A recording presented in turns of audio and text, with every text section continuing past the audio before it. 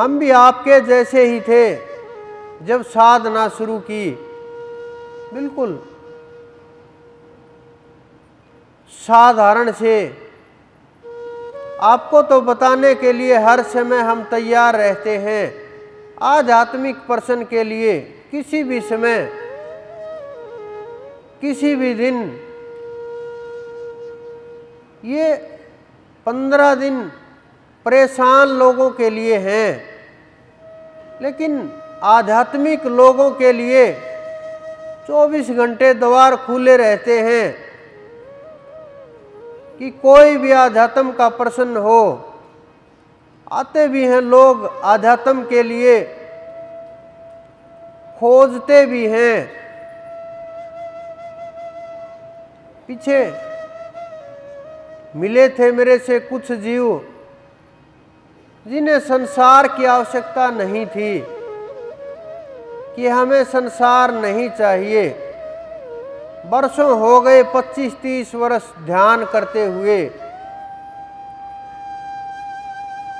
मन से पार भी चले गए, बुद्धि से पार भी चले गए, लेकिन एकाकार नहीं हो पाया। स्थिति देखिए हम बहुत जगह घूमे इस संसार के अंदर। बहुत आश्रमों में, पहाड़ों में, जहाँ किसी ने जो बताया, जवाब नहीं है किसी के पास भी। हम रामकृष्ण के ऊपर, शिव के ऊपर संतुष्ट होने वाले नहीं। क्योंकि जो लोग जानते हैं सार तत्व को, जिनके बुद्धि में ये विचार पैदा हुआ, जिज्ञासु, कि हमें खोजना चाहिए, वो खोजते रहते हैं। उन्हें साधना सिखाई, अनुभव हुआ, कि हाँ अब ठीक है, ये हो सकता है कि अब आप हमारा ध्यान रखना, आप हमारे गुरु हो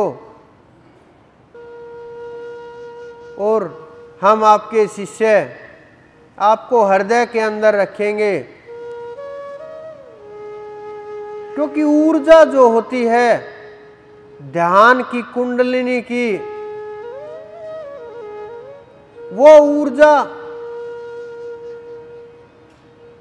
ऊपर सिर के अंदर यहाँ इकट्ठी हो जाती है, ऊपर चढ़ करके, और वो घूमने लगती है। उससे जीव परेशान हो जाता है, ना ऊपर चढ़ पाता उसको रास्ता ही नहीं पता होता कि कैसे इस चक्कर को तोड़ा जाए। और समर्थ गुरु के बिना रास्ता नहीं मिलता, क्योंकि सबके अलग अलग कारण हैं। अलग अलग प्रकार से रोका जा सकता है। अलग अलग कोई कहीं से, जिस प्रकार से कोई पंखा इधर से चलता है, कोई उधर से चलता है, कोई पीछे से चलता है, कोई अंदर से चलता है तो उसी प्रकार से। लेकिन लाइट के लिए एक ही कनेक्शन है ट्रांसफार्म तो वो जुड़ाव तो लाइट तो एक परमात्मा से ही है, लेकिन जहाँ अटके हुए वो अलग अलग जगह हैं। वो अलग अलग जगह बंधे पड़े जीव हैं। उनको अलग अलग जगह से खोलना पड़ता है। और अलग अलग जीव अलग अलग तरीके से खुलता है। उस दिमाग के अंदर जो चीज़ें घूमती हैं, वो ऊर्जा, वो आवाज़ करती है। कई बार टिक टिक की आवाज़ करती है। कई बार तेज तूफ़ान की तरह से आवाज़ करती है।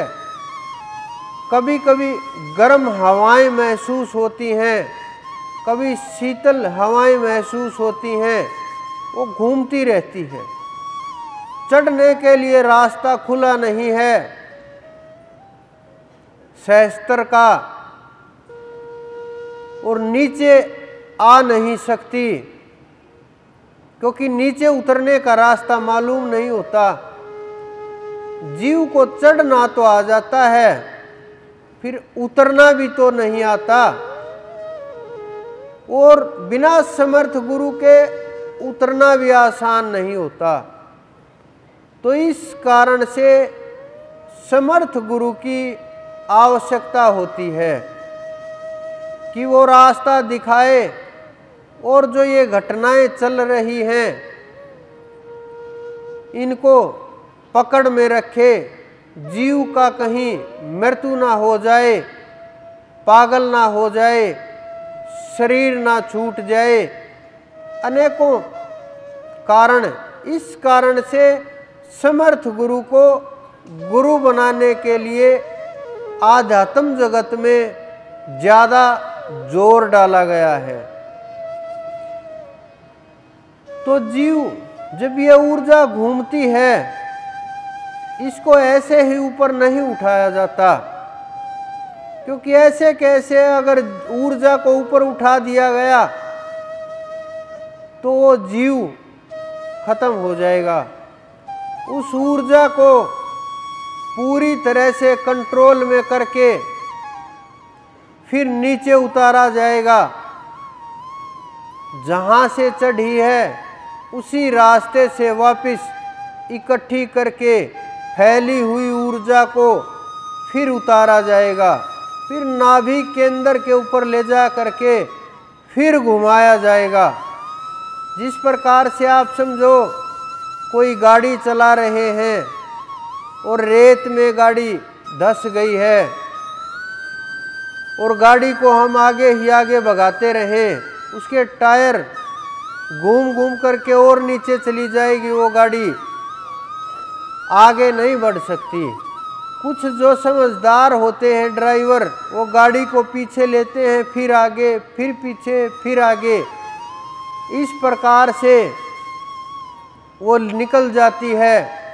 उसी प्रकार से ये ऊर्जा नीचे उतार करके फिर घुमाई जाती है। फिर जितनी नीचे से आए गई उठ करके, जो बंद रास्ता है, रास्ता बना देगी अपने आप।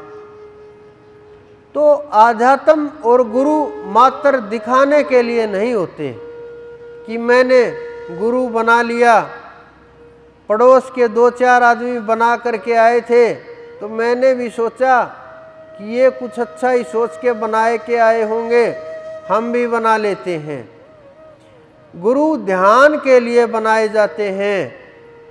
गुरु वहाँ चढ़ने के लिए बनाए जाते हैं। गुरु इस जन्म के कर्मों के लिए और अगले जन्म ना हो पाए, ये जीव जीवन मुक्त हो जाए, उसके लिए बनाए जाते हैं। ना कि मात्र बोलने के लिए, बताने के लिए। कोई आवश्यकता नहीं है ऐसे गुरु बनाने की, कि जो मात्र कि हमने गुरु बना लिए। आवश्यकता ही नहीं। कहाँ ज़रूरत है गुरु की? अगर आपको चढ़ाई नहीं करनी, आपको ध्यान नहीं करना, आपको परमात्मा की प्राप्ति नहीं करनी, आपको पिछले जन्मों के जो कष्ट हैं, जो दुख हैं, जो ये जीवन में परेशानियाँ हैं, ये अगर नहीं वो कर्म कटने दूसरा कोई रास्ता नहीं होता। नाम सुमरण के बिना हम उन चीज़ों को, उन कष्टों को दूर नहीं कर सकते। चाह करके भी दूर नहीं कर सकते। जब तक मन के ऊपर हमारी चढ़ाई नहीं होगी